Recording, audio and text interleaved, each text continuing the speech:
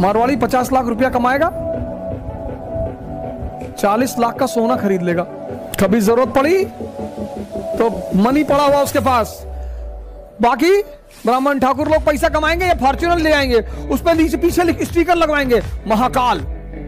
और चार दिन बाद अगर घर में ज़रूरत पड़ गई पैसे की तो वो तो लोहा है।